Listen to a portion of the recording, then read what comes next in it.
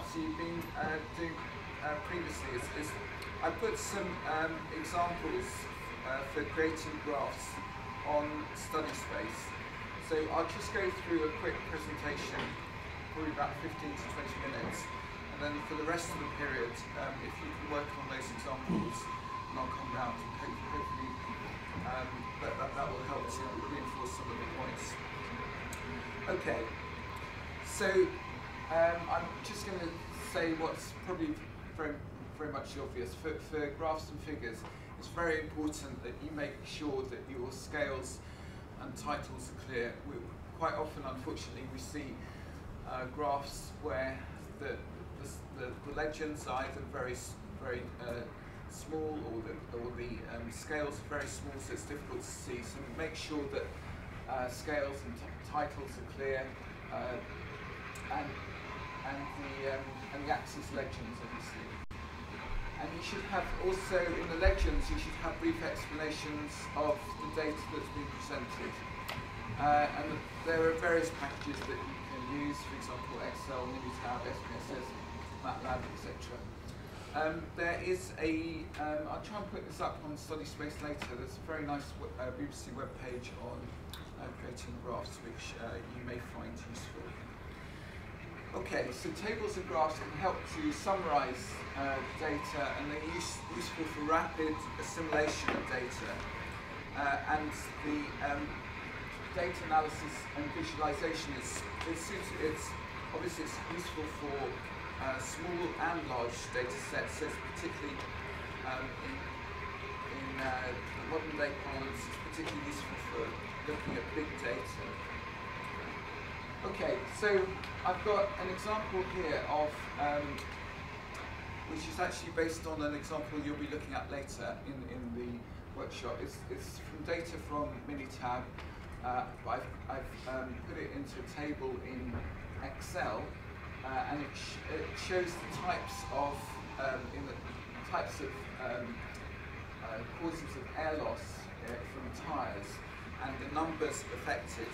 And so the table is fine, the table gives us some information, um, but it can be useful to display it as they suggest, for example, in the Minitab um, uh, tutorial or examples, uh, when you, you, you display it as a pie chart, because then you can instantaneously see the difference in proportions of um, the different causes of air loss.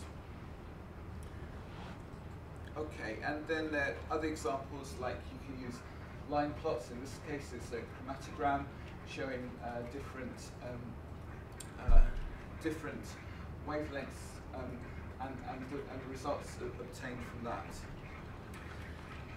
There are examples on how you can use histograms, and quite often, so this is a histogram of uh, torque required to open torque on the x-axis, torque required to open shampoo caps, and the frequency, so it's the number of occasions when those particular torques are required is shown on the y-axis. Um, but it can also be shown as percents. So again, you need to, when you're interpreting the data, when you're uh, when you're displaying the data, you need to decide whether or not you or how you want to present the data. Also, the bin size is very important. The bin size can affect the way in which the graph actually looks. The bin size is, is the um, it's the, it's the number of values within each uh, histogram, uh, uh, uh, in each part of the histogram.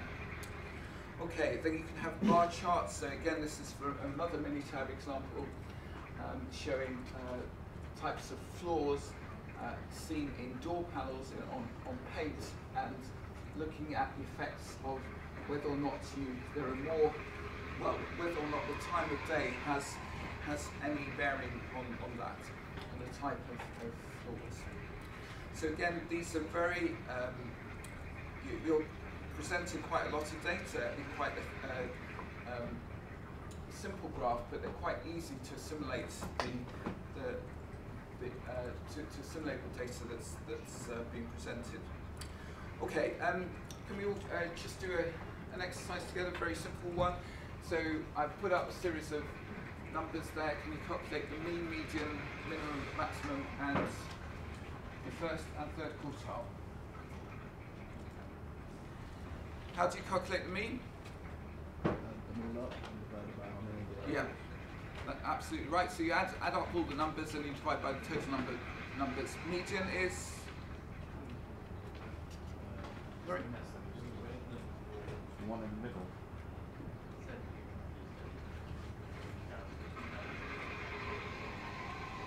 Until the middle one. Yeah, and somebody else also said yeah. So the median is the middle number. So if you can just calculate those numbers quickly, minimum, maximum is obvious, and the first quartile and third quartile are the um, 25% and 75% when you order them up.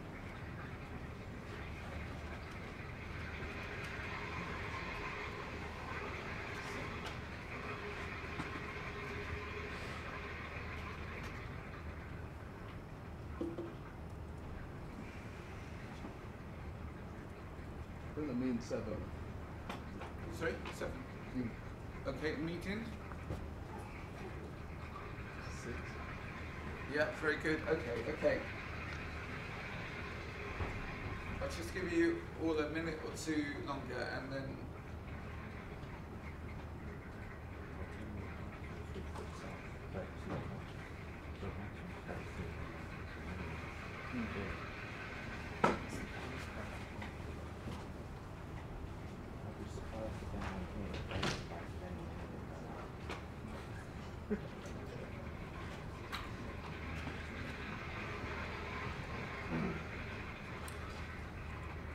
Okay, so uh, as somebody pointed out, the you should have got a value for the median, uh, for the mean, sorry, of seven. The median, um, actually, the median is is four if you uh, arrange them all in order. Oh. Minimum is obviously one, the maximum thirty-two, and the third and uh, sorry, the first and third uh, quartiles are uh, three and six. Okay, you can put the data into Minitab later and you can check that it's, it's right, those numbers are right. Anyway, move on. So in box plots, uh, the reason why I put that up is because in box plots, what we do is we uh, we put down the um, the spread of data. So in this example, again from Minitab, we're looking at durability. So we've got plotting um, the median, the lower quartile, the upper quartile, the minimum and the maximum of the data. Okay, I'm still computing with the water or whatever it is. I'm not sure what the sound is. Okay, another type of um, plot that you'll come across uh, a lot is a scatter plot. So in this uh, case, uh, again, another Minitab example, what we're plotting is the flash recovery time, so the time it takes to recover uh, after, uh, against the potential um, after flash. Um, and we're plotting, we can fit a, a line to, we can, we can uh, do a linear regression in this case and fit a line to the data in order to look at th- that relationship in more detail. Okay, and time series plots, we plot a series of data, in this case sales, uh, over uh, time. So all these um, methods um, help us to, to graphically uh, display the data in order to, to visualize it. Um, in um, it, this is a radar plot. It actually comes from um, Microsoft's uh, website, and in radar plot, what we can do is we can actually uh, we have a circular plot, so we're actually displaying uh, the data. In this case, uh, the garden centre sales of different types of things, so bulbs, seeds, flowers, trees, and shrubs in different months. Okay, and this is just an example I put of how, um, so in research I've been involved in, we, we've applied this in practice to look at uh, rehabilitation uh, data.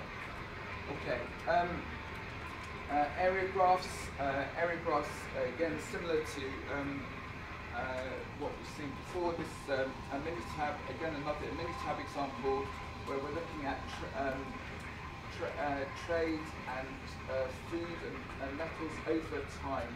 Uh, and again, but we're plotting, we're, we're using areas rather than um, uh, just plotting the, the, the graphs, uh, the, the lines. Okay, and contour plots uh, can be useful to give us an indication in 2D, in this case of um, uh, time against temperature, of, uh, of, of it's a quality measure from, from some data again from Minitab. Okay, and also ex express things in 3D and sur surface plots of 3D. Okay, um, I just wanted to quickly show you how uh, these things also are used in practice. So this is some research that I've, um, uh, that Delphine Fene was uh, a PhD student in, in the faculty, and I was involved in her research. So uh, you may be able to see um, these are confocal microscope images, um, and uh, from uh, looking at different chromosomes within uh, a nucleus. Um, and but what, what Delphine did was to put them together in a 3D visualization. So instead of having a series of 2D images, you can put them together and you can then look in 3D at the distribution of the chromosomes, so the, uh, pink and the green inside the nucleus, which is uh, blue. So it's, it's an, an, example of how it's a more, perhaps more, well, more sophisticated um, type of visualization, but it's, it's still a visualization. Okay. So I was just going to show you an example in MATLAB. Um,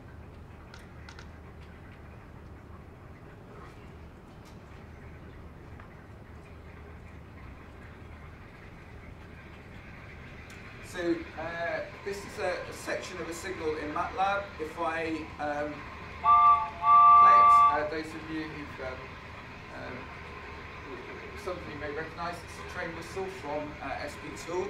So um, this is, a, again, it's another way of, of, representing data, in this case by sound, um, because if you zoom in, uh, signal in this section, for example, the signal looks like that. So we can zoom in a bit further. So, but by playing, by playing the sound, we can uh, instantly recognize what it is, whereas we wouldn't be able to from, from just the graph. Okay, well, I wouldn't anyway.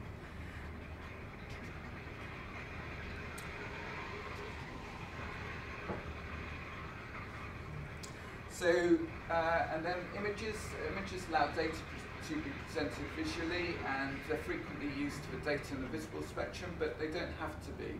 Uh, and we can uh, create pseudo-color images, uh, for example. Okay, um, I, I, think what I'll do is I'll, I'll, um, I'll stop it I'll stop it there because then um, you've got, um, I'm competing with the uh, noise here from the whatever it is, the water going through the system, which is a bit, um, bit difficult. But what, what, what, I suggest you do is if you go on, go to study space, um, there should be, um, you should see the workshop sheets, and then you can start to, to look at some of the examples uh, using Minitab.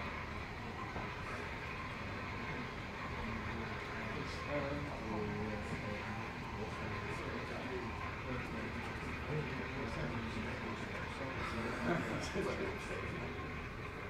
is it?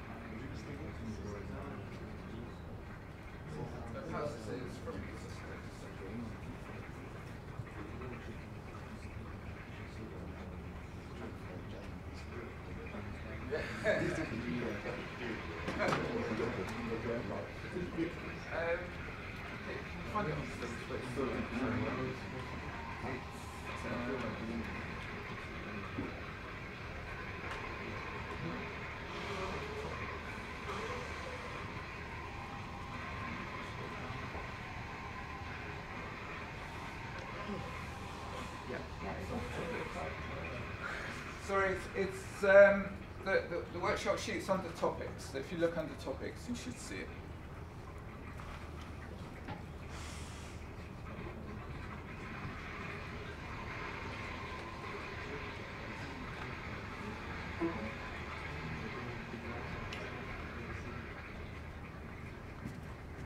Workshop sheets.